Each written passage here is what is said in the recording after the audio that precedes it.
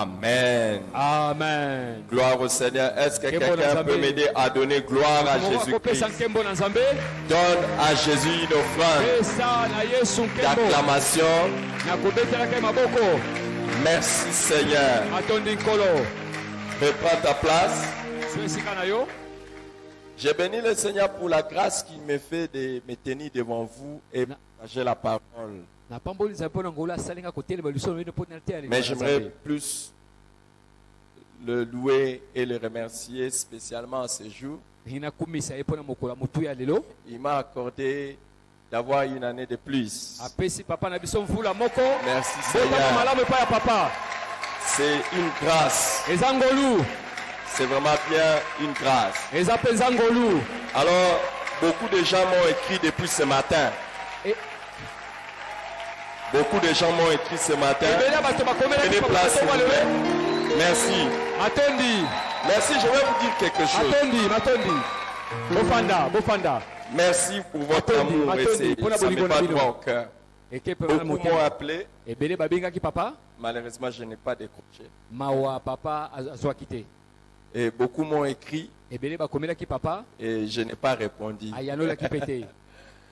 Je vais répondre après. Et j'étais dans la présence du Seigneur. prier. Alors, s'il y a quelqu'un qui a besoin de me souhaiter un joyeux anniversaire correct, maintenant là, je vais lui demander à se lever.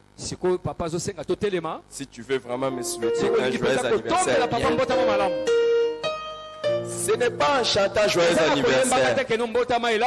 J'aimerais que tu penses à une personne qui n'est pas sauvée. Si tu connais une personne qui n'est pas sauvée, tu connais son nom. Commence à prier pour cette personne.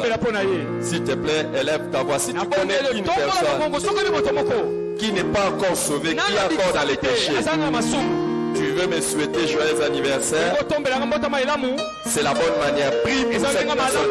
Cite son nom. Cite son nom devant Dieu. Cite son nom devant le Seigneur. Oui, tu connais une personne qui vit dans le péché. Moto moko akobika na masumu En ce jour d'anniversaire de ton pasteur, tu penses à lui. Prie avec foi. Prie avec foi qu'il soit sauvé. Cite son nom. Cite son nom. Cite son nom. Cite son nom. Cite son nom devant Dieu.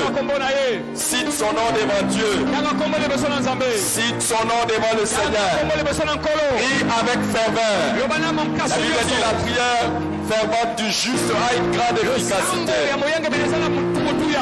La prière fervente du juste a une grande efficacité.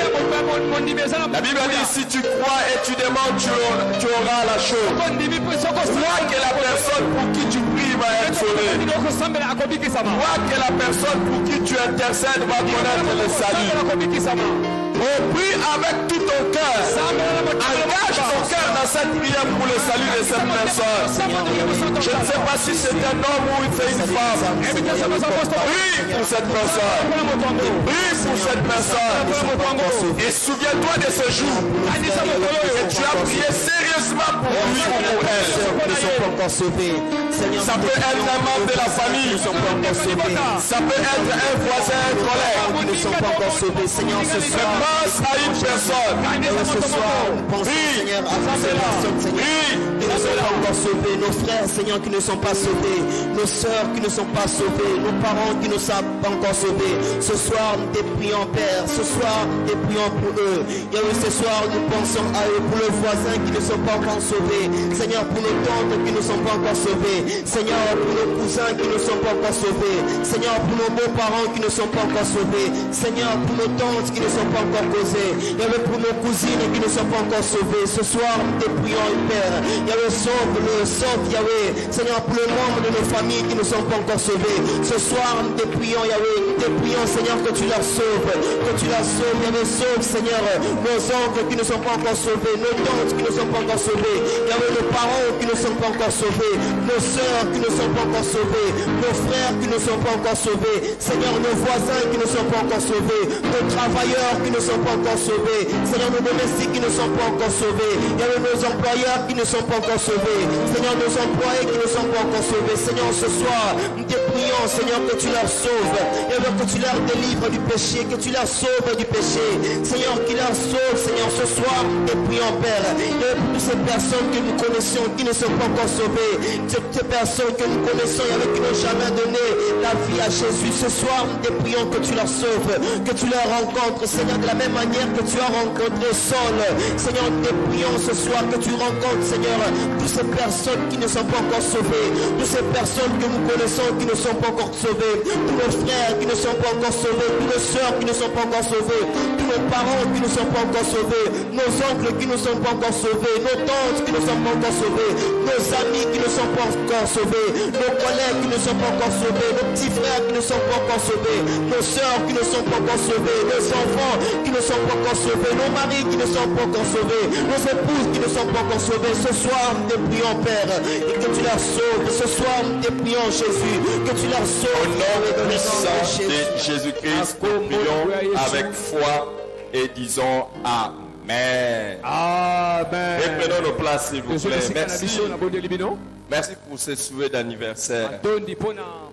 Ça, c'est extraordinaire. C'est une belle manière de me souhaiter un joyeux anniversaire.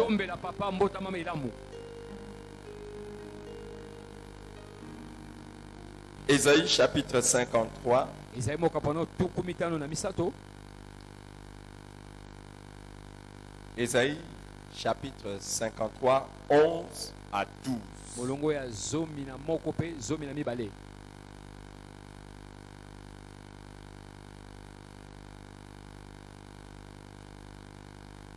Comment prier pour euh, les pécheurs que nous voulons évangéliser? Comment nous pouvons prier pour les pécheurs que nous voulons évangéliser?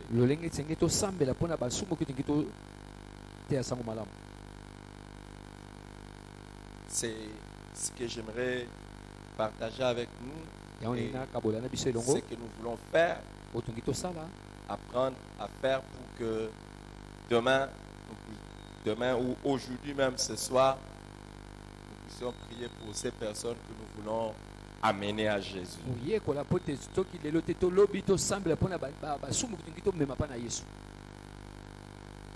Ésaïe chapitre 53. eza ya 11 mokapano à tuku mitano na 12. misato À cause du travail de son âme, il rassasiera ses regards. Par sa connaissance, mon serviteur justifiera beaucoup d'hommes et il se chargera de leurs iniquités. C'est pourquoi je lui donnerai sa part avec les grands. Il partagera les butins avec les puissants, parce qu'il s'est livré à la mort et qu'il a été mis au nombre de malfaiteurs parce qu'il a porté les péchés de beaucoup d'hommes et qu'il a intercédé pour le coupable. Amen. amen Jésus était sans doute quelqu'un qui a réussi dans l'évangélisation. Et dans son ministère, dans son travail, il a réussi. Même le jour où il parlait de Judas, il parlait avec tristesse, il dit, il n'a pas perdu tout ce que le Seigneur lui a donné à part Judas, Qui était le fils de la perdition. qui était le fils de la perdition. Et. Jésus a pris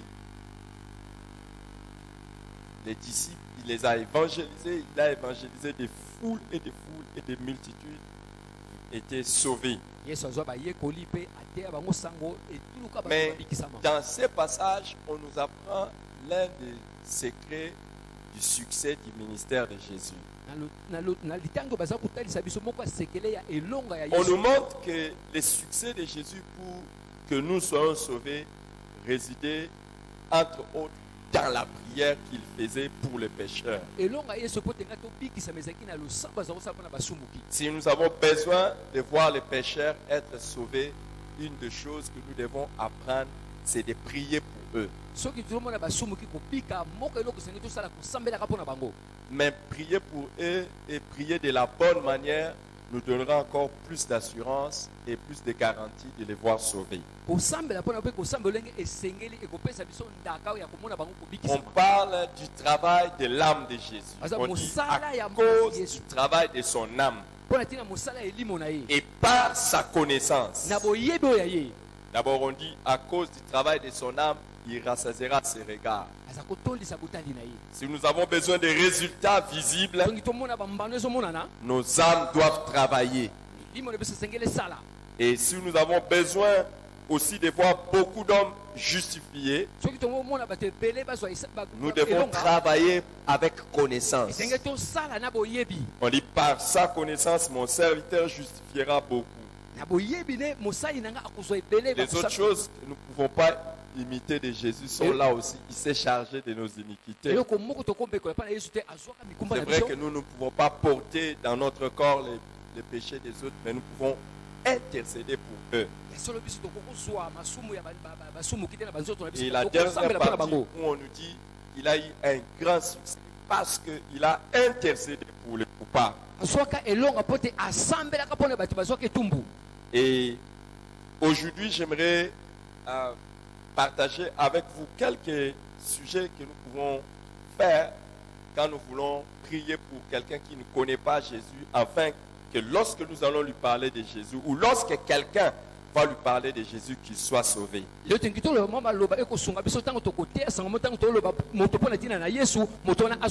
J'ai quelques points de prière que j'aimerais vous donner. Si vous voulez les noter et commencer à les faire pour prier en faveur de toute personne à qui vous voulez apporter la bonne nouvelle ou toute personne que vous voulez évangéliser. Le premier point de prière concerne la miséricorde et le pardon de Dieu sur sa vie. La miséricorde et le pardon de Dieu. Si vous voulez que quelqu'un soit sauvé, commencez par demander à Dieu la- sa miséricorde et le pardon sur sa vie.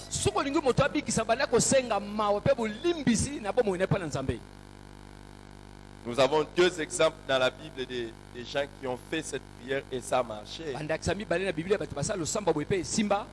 Dans Jésus-Christ à la croix, on nous dit dans Luc chapitre 23, le verset 34. Luc chapitre misato 23, verset 34. Et Jésus dit, Père, pardonne-leur car ils ne savent ce qu'ils font.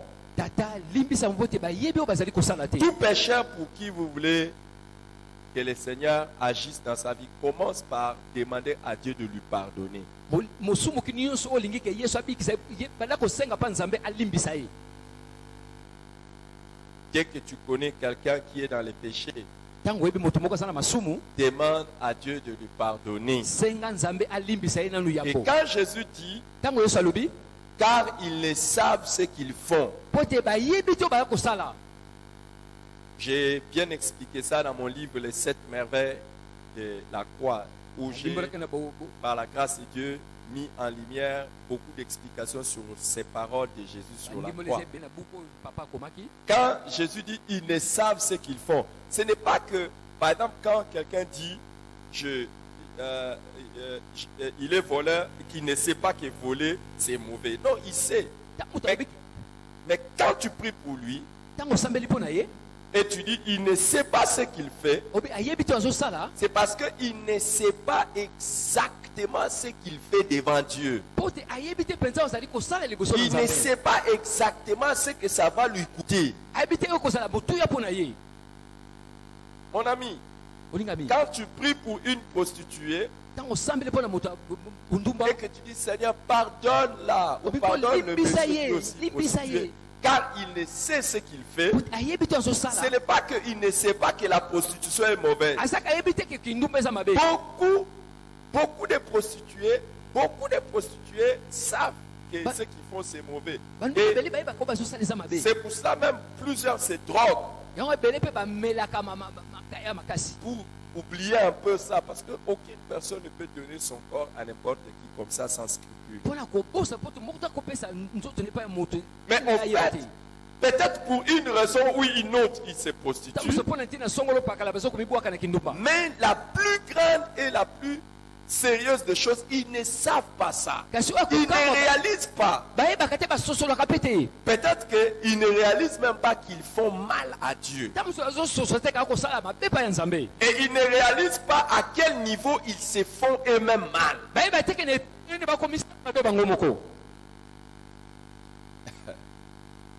Cette semaine, cette semaine, j'ai appris l'un des dangers de la sexualité en dehors ou hors mariage.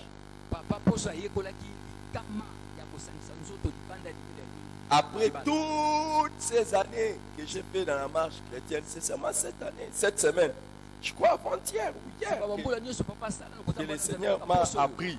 Et à plus forte raison, si moi qui suis déjà sauvé, je les sers, j'ai compris une dimension du danger de ces péchés seulement cette semaine.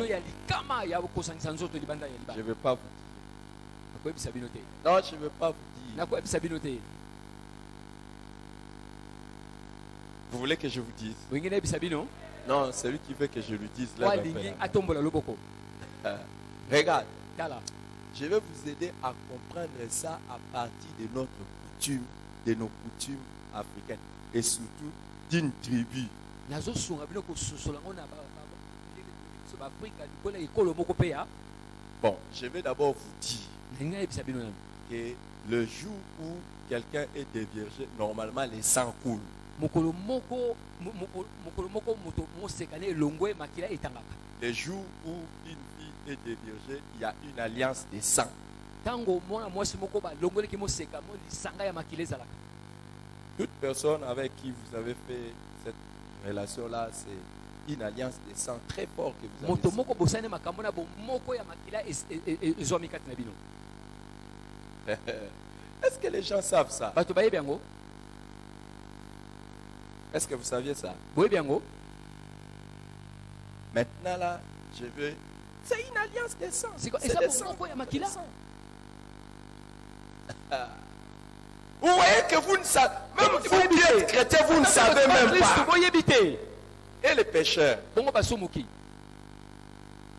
Maintenant là, vous savez que le jour de la dot, dot. quand une fille se marie, ye si elle est vierge, il y a, il y a une chose que les parents demandent à titre symbolique. Normalement, si elle n'est pas vierge, les parents sont humiliés et ils ne peuvent pas demander ça. Et toute personne qui a connu cette fille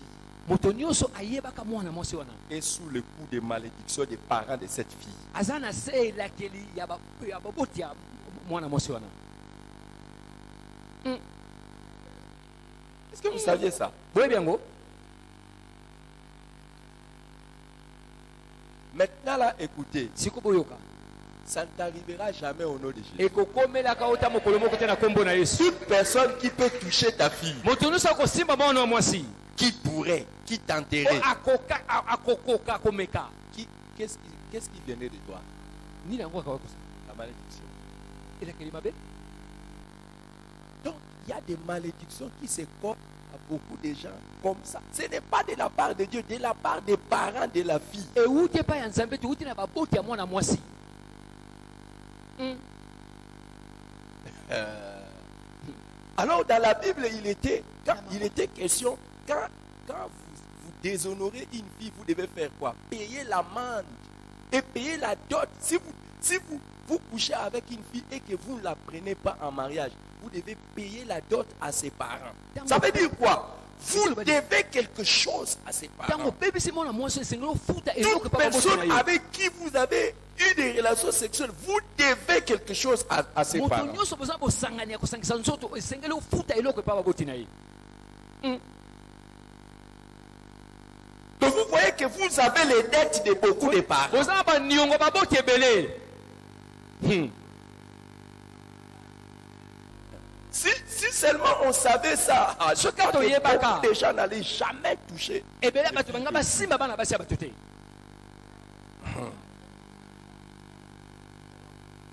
Et quand la fille trompe qu'elle est vierge et qu'on donne la dot comme si elle était vierge, donc la malédiction n'est pas, pas seulement la tienne, mais toutes les personnes avec qui elle était en relation.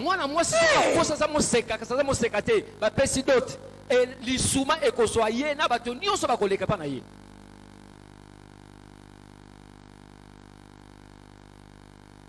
Il y a des choses, quand j'apprends ça, j'ai envie de rentrer à l'école de dimanche, avoir 6 ans, 5 ans.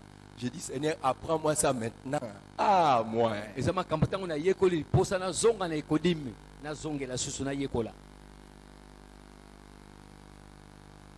Est-ce que vous saviez ça? Boyebi yango Bon, si vous saviez ça, gloire à Dieu. Ah, Je viens de le découvrir maintenant. papa oti kokundola yango ka- kala mingi te Maintenant, que faire?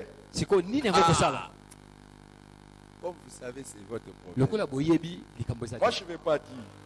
Vous, te vous êtes resté calme comme si je raconte des histoires qui concernent. Non, non, ne vous en faites pas. Je vais aller prêcher ça à l'écodim. À l'école de dimanche, dans les classes de, de 3 à 5 ans. Et quoi, quelle, quelle classe encore Après lisu 3 à 5.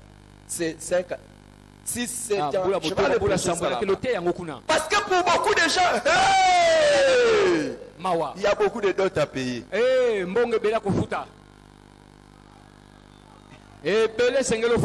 Et je vous dis, il y a des tribulations qui vont se coller à vous jusqu'à ce que vous sachiez comment régler ces choses.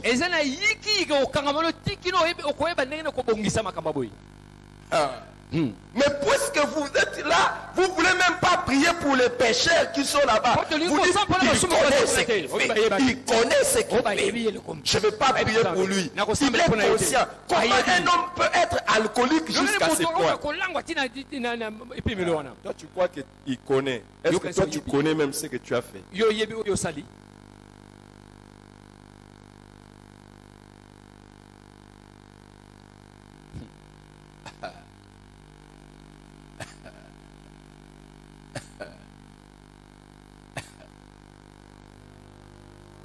Je me rends compte qu'il y a des gens ici qui ont plusieurs dots à payer.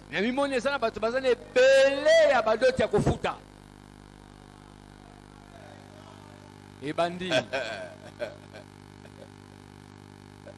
ezobima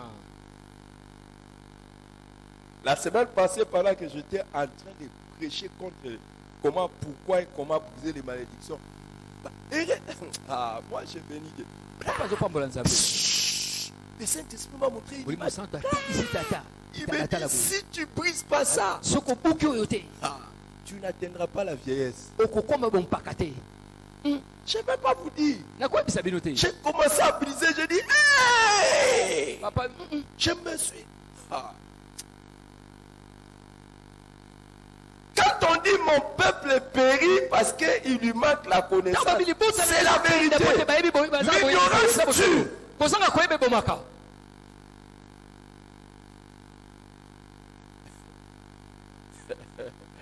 Apparemment, vous n'aimez pas. hein. Mm, bolingi te hein? ezokota Il y a des choses. Hein. Ah. Est-ce que vous savez que toute relation sexuelle avant le mariage, même si vous épousez la personne, il y a des règlements de compte de Dieu. eza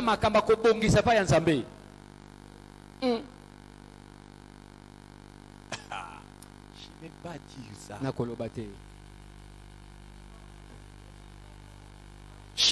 Vous savez que- pourquoi ça m'a aidé à voir ça? Papa Dans les entretiens actuellement, avec beaucoup qui se préparent au mariage, je me rends compte que c'est avec légèreté que les gens sont en train de se découvrir les uns les autres. J'ai pitié. na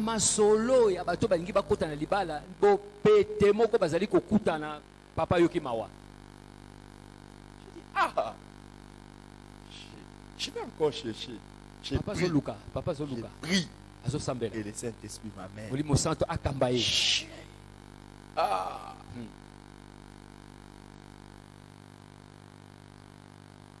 Beaucoup n'auront jamais le bonheur dans leur mariage parce que l'idée qu'ils ont de la sexualité, c'est l'idée qu'ils ont de ce qu'ils avaient vécu avant de se marier. ebele bakozwa bo- bomengo te na bo- libala na mopo te makanisi baza na kosangisa nzoto oyo bazalaka nango yambo te babala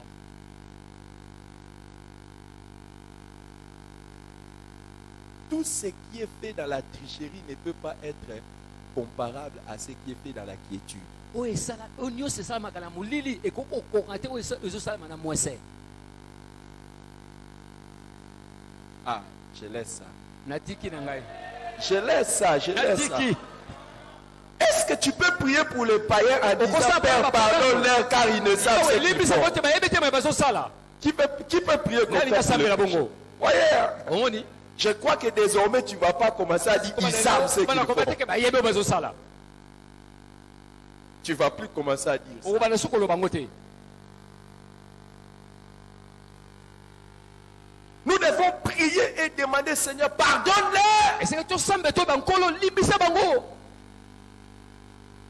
Ne les regardons pas d'un air à être condamnés par le Seigneur.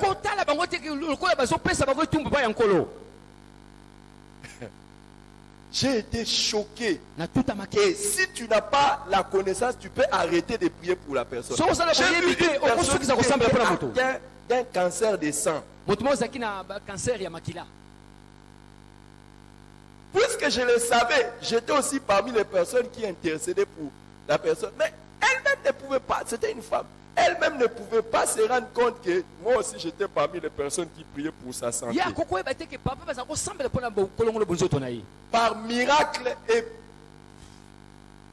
comme ce n'était pas encore au stade avancé, on a essayé de soigner et ça marchait. À l'étranger. Et quand la personne est rentrée au pays pour dire merci à Jésus ou pour être reconnaissant sur ce qui est arrivé, on a mis des musiques, des musiques bizarres. Ils dansaient. Ah. Donc, tu peux enlever la compassion et dire Seigneur, pourquoi tu ne l'as pas pris? Mais si tu enlèves cette compassion, tu dis Seigneur, pourquoi tu l'as pris? Tu l'as, tu l'as envoyé en enfer.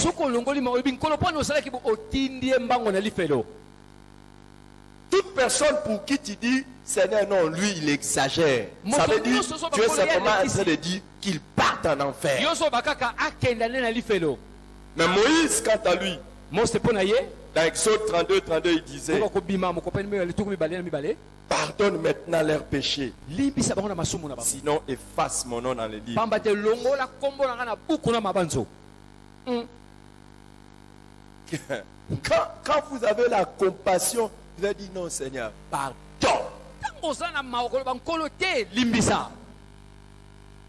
Alléluia. Amen Y a-t-il une personne pour qui tu peux prier aujourd'hui Vous savez, si vous, vous n'avez pas cette prière dans votre tête, vous n'allez pas continuer à évangéliser. Aujourd'hui, nous avons un frère ici que j'ai évangélisé pendant 10 ans à peu papa près. Mais il y a des fois, quand je venais pour l'évangéliser, il prenait la bouteille de bière pour me décourager.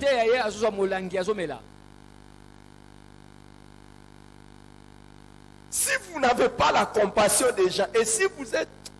Non, non, non. Vous êtes vice-dieu. Vous, vous n'êtes pas les, les, les justes juges. Vous êtes les saints justes juges. moyengebeli Vous allez envoyer toutes ces personnes en enfer. na Priez pour que Dieu pardonne leurs péchés. Priez pour la miséricorde de Dieu sur leur C'est le premier pas. Si Dieu a pitié d'eux, si Dieu le pardonne, se mettra en œuvre pour les sauver. Y a-t-il une personne pour qui tu aimerais prier? Que Dieu lui pardonne ses péchés. Que Dieu lui accorde sa miséricorde et le pardon. Y a-t-il une personne? Élève ta voix alors, prie pour cette personne. Prie pour cette personne. Prie pour cette personne. Que Dieu lui fasse miséricorde et pardon. Ah, si tu connais une personne, place la personne, place la personne devant Dieu. Et demande aussi la grâce de commencer à intercéder pour le pécheur en demandant le pardon et la miséricorde. Si tu veux, hein, ça c'est la prière pour ceux qui ont compassion des autres. Ceux qui ont compassion des autres. En reconnaissant que nous-mêmes aussi nous sommes faibles. Et nous avons besoin du pardon de Dieu. Alléluia. amen Élève ta voix et prie.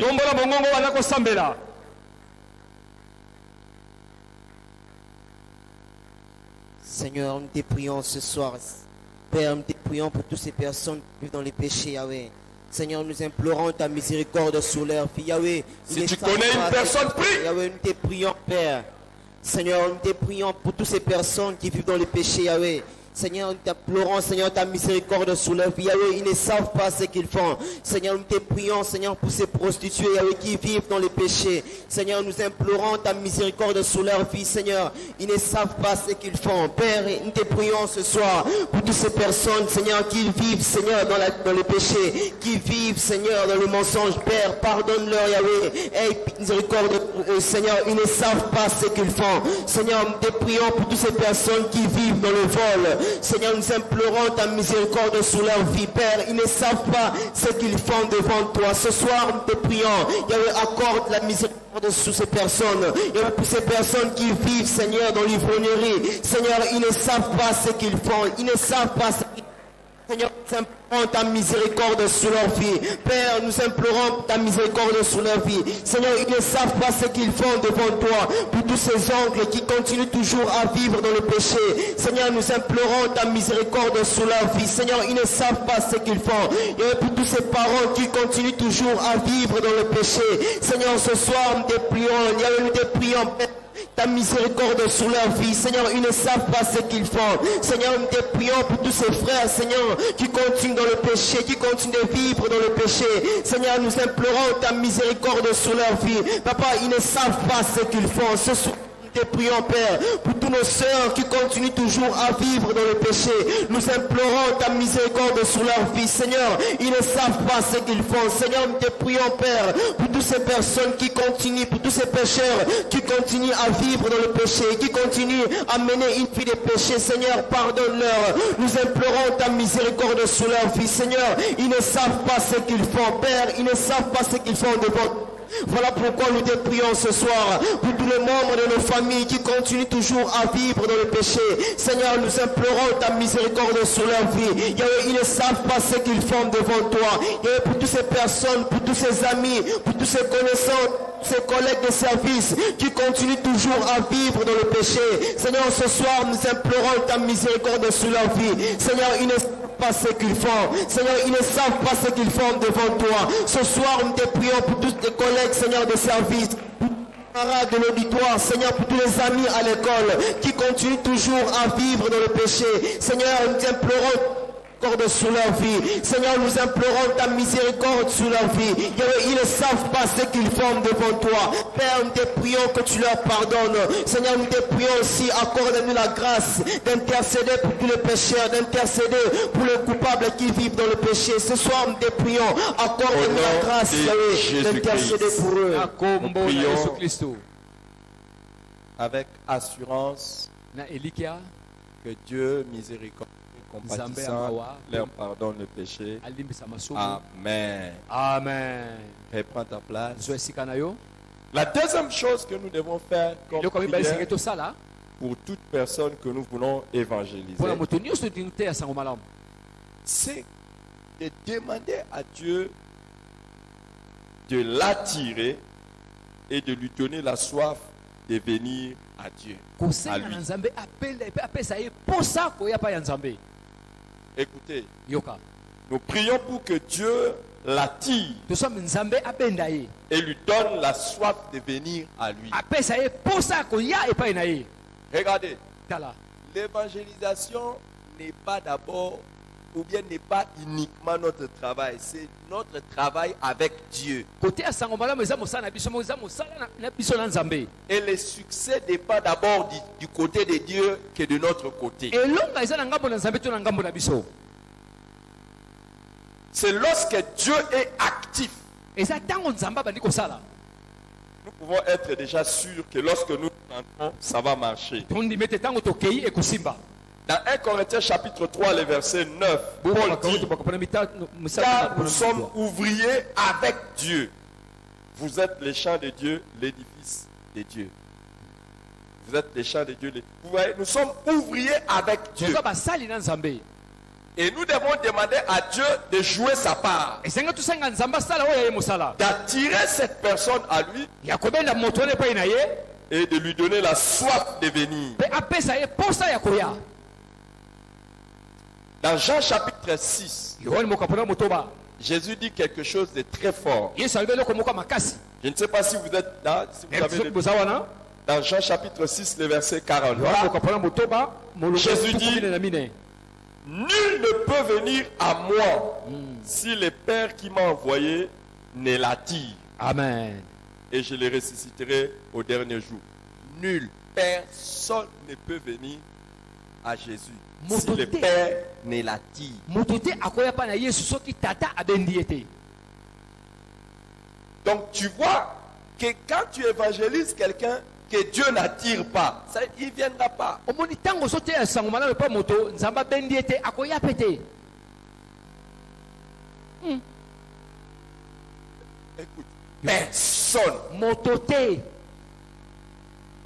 C'est c'est pour ça que nous devons faire attention de croire quand quelqu'un est sauvé que c'est c'est par notre force. C'est d'abord le travail de Dieu. Alléluia. amen Et au verset 65, na toujours molongo dans ya Jean chapitre tuku 6, motoba na mitano on dit, et il ajouta, c'est pourquoi je vous ai dit que nul ne peut venir à moi si cela ne lui a été donné par les pères. amen. C'est le Père qui dit, maintenant là va.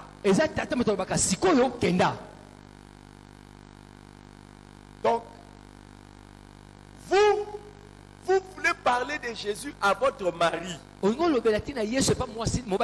à votre enfant, à votre femme, à vos parents, à votre voisin, à un inconnu, ou à qui que ce soit. Faites la prière que Dieu l'attire vers lui. Si Dieu le fait, vous avez déjà les assurances. Est-ce que tu as déjà fait cette prière concernant ton mari? Tu vois, tu parles, parles, parles. Et tu vois qu'il a pas de. Parce que personne ne peut venir à Dieu si Dieu ne l'attire.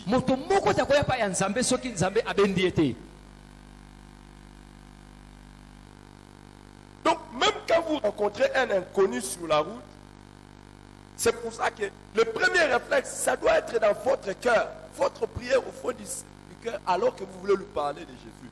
Faites déjà une prière rapide, Seigneur, s'il te plaît. Je veux que cet homme vienne à toi. Attire-le à toi.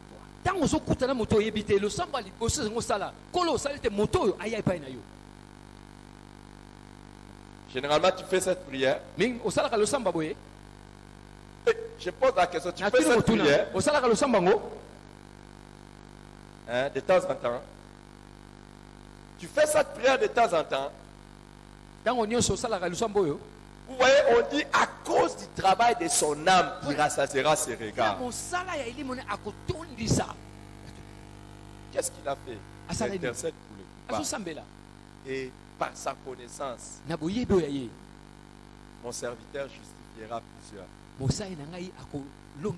Je crois que maintenant là, tu as la connaissance. Tu vas dire à Dieu, Seigneur, toi-même, oba attire. Nkolo yo moko obenda ye epa na yo Alléluia. amen amen Que je ne sois qu'un simple instrument. Mais toi, attire-les vers toi.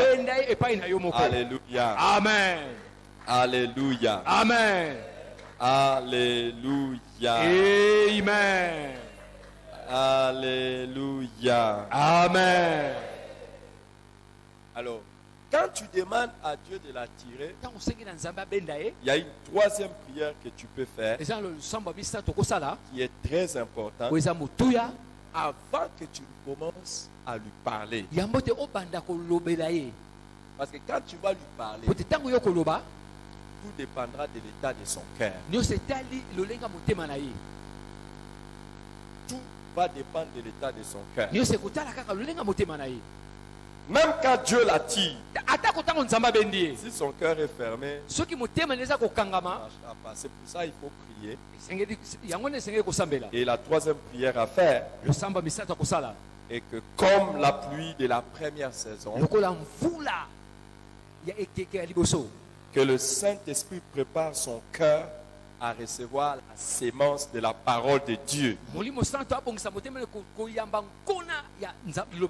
Et crée en lui une faim et une soif de Dieu. Avant que tu ne puisses ye. Que Dieu, comme la pluie de la première saison, que le Saint-Esprit prépare son cœur à recevoir la sémence de la parole de Dieu. Et que Dieu crée en lui une faim et une soif. De la justice dans son cœur. Avant que tu ne puisses l'aborder. Vous savez, l'évangélisation est Oui. également comparée à une moisson, c'est-à-dire quand on a sémé, on récolte. kolona Et ce que nous sémons, c'est la parole de Dieu. La sémence, c'est la parole de Dieu. Le sol ou la terre, c'est le cœur. Si le cœur n'est pas bien préparé, le sol n'est pas bien préparé, même si vous mettez une sémence de n'importe quelle qualité, ça te Alléluia. amen. Alléluia. amen. Alléluia. amen. Qui croit que la parole de Dieu est puissante? Vous croyez que la parole de Dieu est puissante? La parole de Dieu est capable de faire quoi? Hein? Eza makoki ya kosala nini?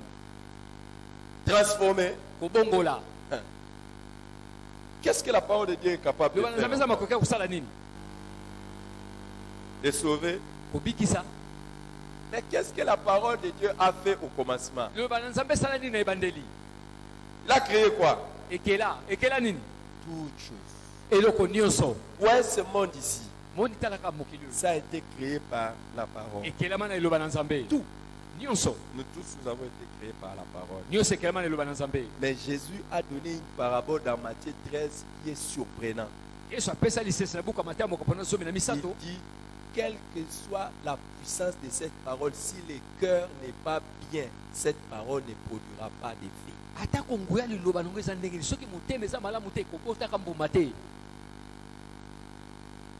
La même parole reçue dans différents cœurs ne produit pas le même résultat.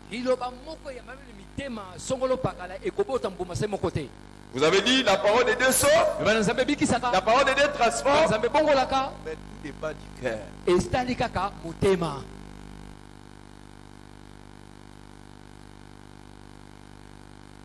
Alléluia. amen. Et dans la Bible, on parle de la pluie de la première et de l'arrière-saison. mvula Juste une explication rapide. Après l'été, après l'été, ete l'été c'est la saison, comme on peut dire, la saison de grande chaleur. moi makasi Le sol est très, très dur. koleka le travail des laboureurs est très difficile. Et vous ne pouvez pas venir s'aimer dans, les- dans le sol dur et craquelé après l'été. Alors, qu'est-ce que le laboureur attend Après l'été, le laboureur attend ce qu'on appelle la pluie de la première saison. yambo Et la pluie de la première saison, c'est la pluie qui vient ramollir les cœurs, les sols. Et quand le sol est ramolli, alors on peut commencer maintenant le C'est la même chose. Si vous lisez ça dans la Bible, beaucoup de bibilia que on parle de la pluie, je vous donnerai la pluie de la première et de l'arrière-saison. Et cette pluie, c'est le Saint-Esprit. Alors, il faut prier pour que le Seigneur donne déjà à ce cœur d'être préparé. Et ça, c'est le travail du Saint-Esprit. Vous n'avez pas besoin de commencer à prier pendant 15 ans pour que les sols. Non, non. Dès que vous rencontrez quelqu'un, ayez les réflexes à Seigneur. Prépare son cœur par le Saint-Esprit. Crée en lui la soif. Dans Matthieu chapitre 5, verset 6. ata mokopola mitano molongo na Dans Matthieu chapitre 5, verset 6, on nous dit Heureux ceux qui ont faim et soif de la justice, ils seront rassasiés. amen Quand quelqu'un n'a pas faim et soif de la justice, il il faut que la personne sente le besoin du salut. Il faut que dans son cœur, il sente le besoin d'être Son cœur sera préparé. Alléluia. amen. Est-ce que quelqu'un est édifié? Vous êtes là ou bien vous êtes pas? Alléluia. amen. Alléluia. amen. Alléluia. amen. Vous êtes là? Ozali? Et la quatrième prière que nous pouvons faire pour les croyants, les non-croyants que nous voulons évangéliser, les pécheurs que nous voulons évangéliser, c'est de prier que le Saint-Esprit puisse les convaincre du péché, de la justice et du jugement. Que le Saint-Esprit les convainc du péché, de la justice et du jugement.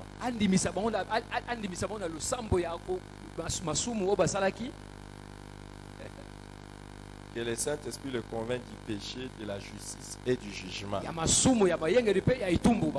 Jean chapitre 16, verset 8 ekokani mokapana zomi na motoba mpe na molongo yango ya mwambe jusqu'au verset 11. ti na molongo ya zomi na moko Et quand il sera venu, on parle du Saint-Esprit, il convaincra le monde en ce qui concerne le péché, la justice et le jugement. En ce qui concerne le péché, parce qu'il ne croit pas en moi. La justice, parce que je vais au Père et que vous ne me verrez plus. Le jugement, parce que le prince de ce monde est jugé. Amen. amen Vous voyez, quand nous allons commencer à parler à la personne, Ce que nous demandons au Saint-Esprit, c'est de les convaincre du péché, de la justice et du jugement.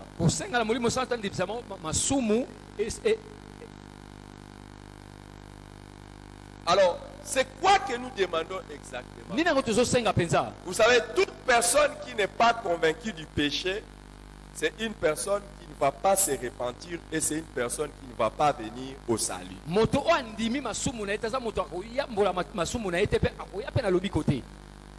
Alléluia. amen Et toute personne qui croit être déjà sauvée, c'est-à-dire il, il- il se justifie, il ne va pas être sauvé.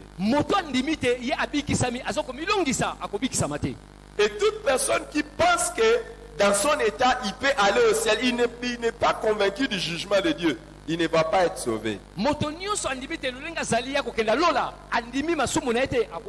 Je vais donner mon exemple à moi.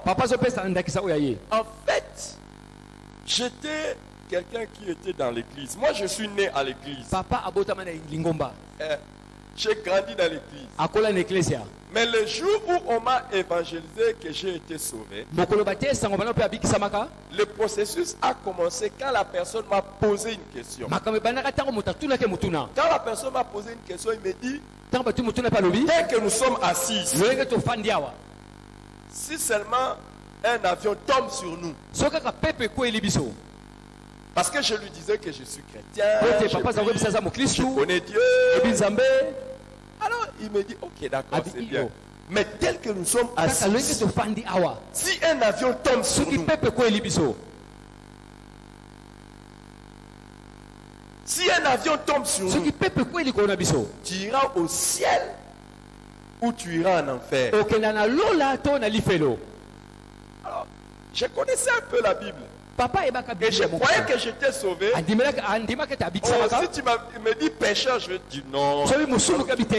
Et surtout que j'étais aussi baptisé. Alors je, je me disais que j'étais sauvé. azaki- Mais là, honnêtement, j'ai commencé à dire, je ne sais pas. Tant que la personne n'est pas convaincue de ça, il ne va pas être sauvé. Alors regardez, tala. Il faut que la personne accepte qu'il est d'abord pécheur.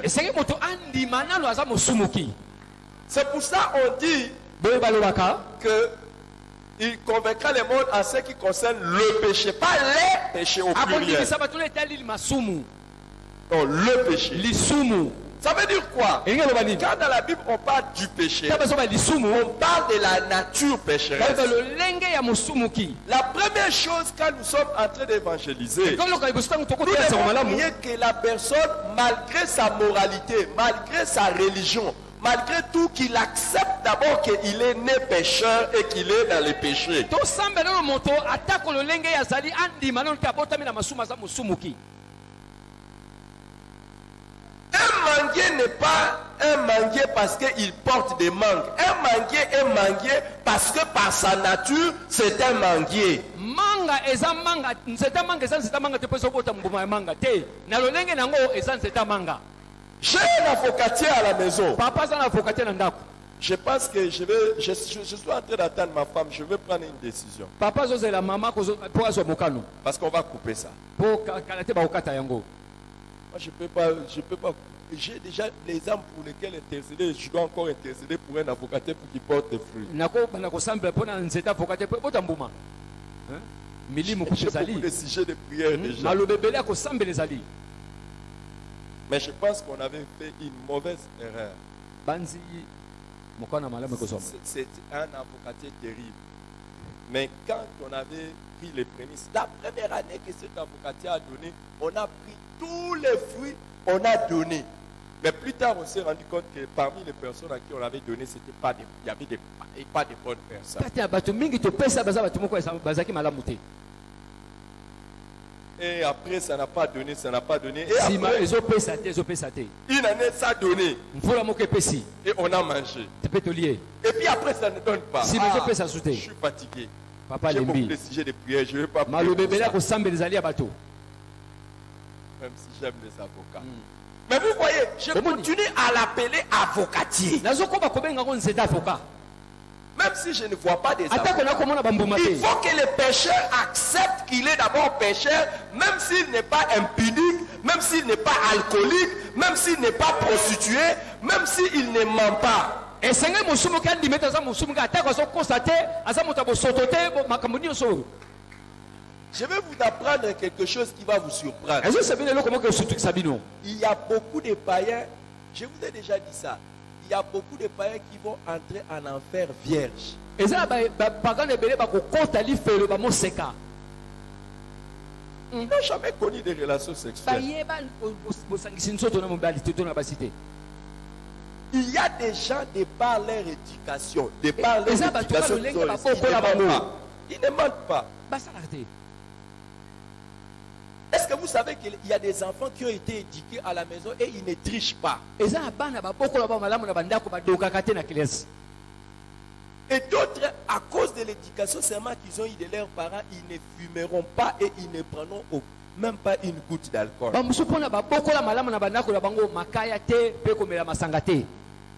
Mais ça ne veut pas dire qu'ils sont sauvés.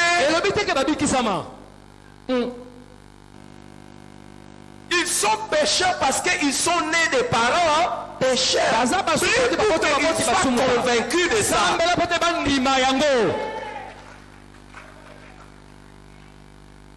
Est-ce que quelqu'un est là? Quelqu'un est là? Ça. Il faut prier. Et il faut prier que le Saint-Esprit les convainc de la justice. Beaucoup croient qu'ils sont, ils sont justes devant Dieu parce qu'ils ont été baptisés, parce qu'ils fréquentent l'église, parce que les parents sont chrétiens. Non, non, non, que le Saint-Esprit leur montre qu'ils ne sont pas justes devant Dieu.